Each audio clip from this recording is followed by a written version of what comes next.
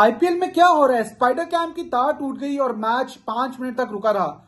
सुबह मैच देख रहे थे जयपुर में, राजस्थान रॉयल्स खेल रहे थे लखनऊ सुपर जाइंट्स के साथ और मुझे समझ नहीं आ रही कि आईपीएल में जो इतनी महँगी लीग है, सबसे ज़्यादा पैसा इन्वॉल्व है, सबसे ज़्यादा ग्लैमर है बॉलीवुड सुपरस्टार्स हैं इंडिया के टॉप बिजनेसमैन हैं टॉप ओवरसीज प्लेयर्स हैं दुनिया के, लेकिन आपसे स्पाइडर कैम की तार जो है वो संभाली नहीं जा रही। ये कितना बुरा लगता है कि दो बॉलें हुई है मैच की और मैच पाँच मिनट के लिए रुक गया है। इतना बिजार रीजन है कि तार टूट गई स्पाइडर कैम की और तारे लिपेट रहे हैं अंपायर्स और वहाँ पे लोग आ रहे हैं। मतलब समझ नहीं आ रहा यार इस तरह के व्यूज़ जो जा रहे हैं, पूरी दुनिया में देखे जा रहे हैं। वो बुरा लगता है यार। आप आईपीएल करा रहे हैं, सबसे बड़ी लीग कहते हैं इसको तो कम से कम आपको इन चीज़ों का ख्याल रखना चाहिए कि दो बॉल हो गई है, उसके बाद आप स्पाइडर कैम की तार लपेट रहे हैं। या स्पाइडर कैम की तार जो है वो काम नहीं कर रही। और उसके अलावा फिर एक और चीज़ देखने में आई कि बेल्स जो है वो मैच के दौरान काम करना रुक जाती है। नई कॉन्ट्रोवर्सी क्रिएट हो गई कि बॉल लगती है, बेल्स गिरती है, लेकिन वो बेल लाइट अप नहीं करती। जो जिंक बेल्स होती है, वो चार्ज नहीं, उनकी बैटरी चार्ज नहीं है। तो ये सब आप मैच से पहले क्यों नहीं देखते? ये चीज़ें समझने वाली है। आप इतनी बड़ी लीक करा रहे हैं, पूरी दुनिया उसको देख रही है, पाकिस्तान में देखी जा रही है। अनफॉर्चुनेट है। लेकिन रात के मैच की बात पहले करूँगा, उसको जानबूझ के इंटरेस्टिंग बनाया गया। फिर से बात कर रहा हूँ मैं, ये बात गुजरात टाइटन्स और मुंबई इंडियंस के मैच की कर रहा हूँ जो अहमदाबाद में खेला गया। और वो मैच इवेंचुअली छह रन से जीत गया गुजरात टाइटन्स वो जीता कैसे? 43 रन चाहिए थे आखिरी पाँच ओवर्स में और सात विकेटें मुंबई इंडियंस के हाथ में थी। मुझे खुद पता है जिस टीम के पास सात विकेटें हाथ में हो सपाट फ्लैट पिच हो, वो 43 रन ना कर सके, कुछ तो गड़बड़ है, दया।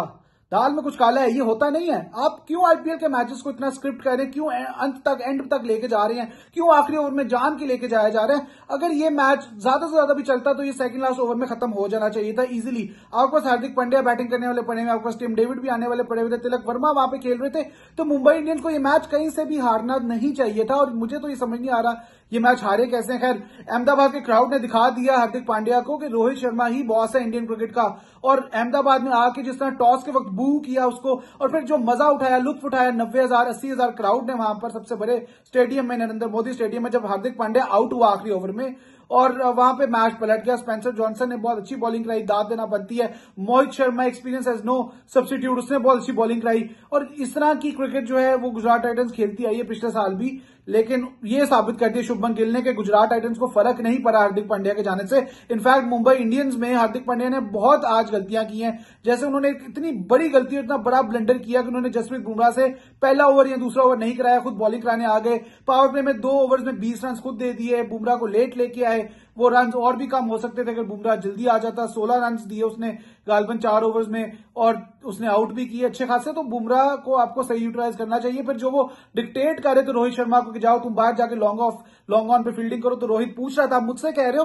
आप सीनियर प्लेयर साथ ये नहीं कर सकते। रोहित शर्मा से ही मुंबई इंडियंस जानी जाती है और Mumbai Indians is Rohit Sharma and Rohit Sharma is Mumbai Indians.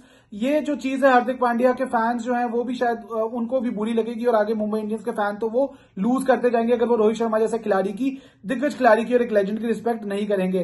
खैर, देखते हैं कल क्या होता है। RCB back in action against Punjab kings RCB पहला मैच हार गए थे, विराट कोहली चेन्नई सुपर किंग्स से चीपॉक में, लेकिन अब वो अपने होम ग्राउंड में खेलेंगे।